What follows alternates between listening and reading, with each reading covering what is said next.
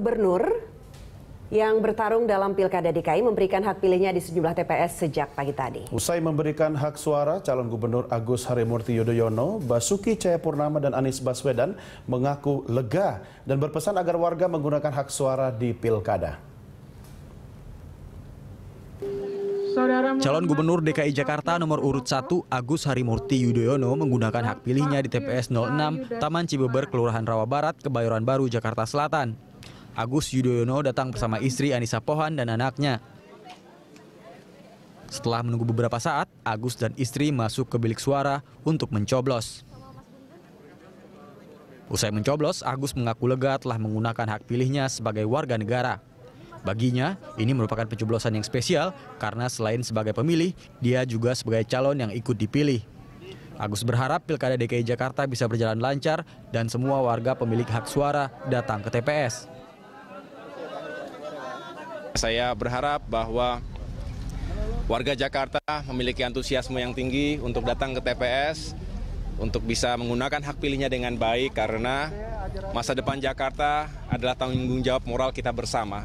Tentunya jika ingin melakukan perubahan untuk kota yang kita cintai ini, semua harus menjadi bagian dari perjuangan itu dan tentunya perjuangan itu dimulai dari datang ke TPS dan menggunakan hak suara kita. Sementara itu, calon gubernur DKI Jakarta nomor urut 2 Basuki Cahayapurnama atau Ahok menggunakan hak suara pada Pilkada DKI Jakarta di TPS 054 Pantai Mutiara Blok Z1 Jakarta Utara. Ahok datang berjalan kaki dari rumahnya dan tiba di TPS sekitar pukul 9.40 pagi ditemani istri Veronika Tan dan anaknya Nikola Sean Purnama. Usai mencoblos, Ahok mengaku lega karena sudah memberikan hak suara. Ahok juga berterima kasih kepada warga karena suasana pencoblosan berlangsung kondusif. Saya berharap seluruh warga DKI bisa berbondong-bondong datang ke TPS, memberikan hak suara saudara semua. Karena pilihan saudara tentu menentukan masa depan Jakarta. Ya, jadi saya harap semua datang ke TPS untuk memberikan hak pilih kalau yang tidak dapat surat undangan, saudara bisa datang dengan bawa KTP, dengan bawa kartu keluarga, tunjukkan.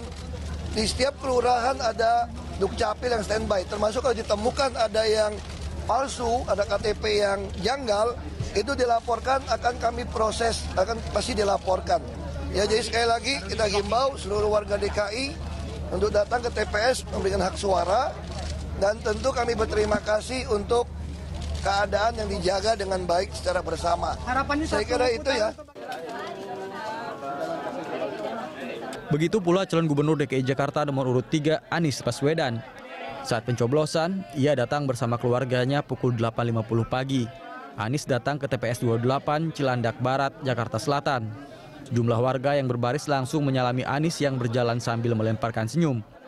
Mengenakan peci dan kemeja lengan panjang warna putih, Anies juga sempat meladeni permintaan foto warga. Anies langsung masuk menunggu giliran pencoblosan bersama istrinya, Vera Farhati Gamis.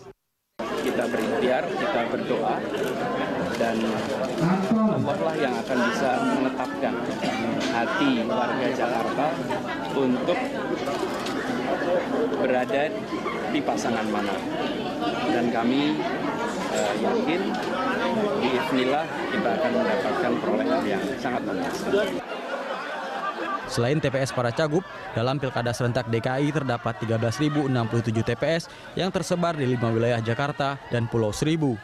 Untuk menjaga suasana kondusif, polisi mengerahkan hampir 20.000 personil untuk mengamankan pelaksanaan pemilihan gubernur 15 Februari 2017. Dan hasil pemungutan suara akan diumumkan KPUD dua pekan mendatang. Tim Liputan Berita 1, Jakarta.